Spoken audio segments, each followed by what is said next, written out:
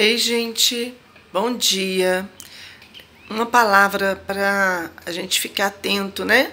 Sobre a nossa vida aqui nessa terra. É, vou ler aqui um versículo. Buscai ao Senhor enquanto se pode achar. Invocai-o enquanto está perto. 55, 6. Isaías.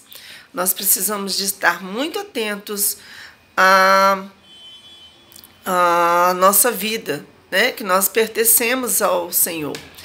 E que o Senhor possa estar te abençoando nesse dia, te livrando do mal, do perigo, de toda tentação e te dando um caminho plano nessa terra. Deus te abençoe, um bom dia. Até a próxima.